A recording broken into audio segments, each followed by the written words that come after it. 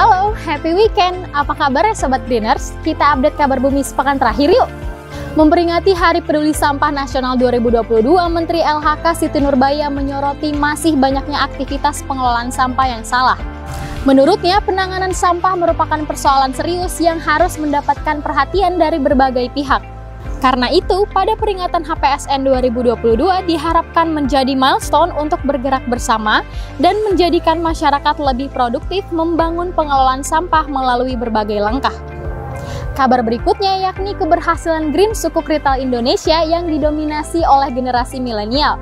Green Sukuk merupakan surat berharga negara atau SBN syariah pertama di dunia yang mengedepankan konsep program pembiayaan untuk proyek ramah lingkungan.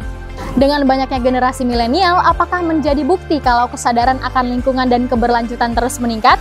Wah, semoga ya Sobat Greeners. Kabar ketiga, sebagai salah satu negara rawan bencana, Indonesia harus memperkuat sistem peringatan dini dan literasi kebencanaan di masyarakat. Menurut pengamat, hampir 60% masyarakat tidak tahu kalau ternyata mereka hidup di wilayah rawan bencana. Dalam hal ini, pengurangan risiko bencana dengan memastikan infrastruktur dan penyiagaan evakuasi dalam rangka penanggulangan bencana harus pemerintah lakukan. Seluruh berita yang aku highlight tadi, Sobat Greeners bisa langsung akses berita selengkapnya hanya di website greeners.co.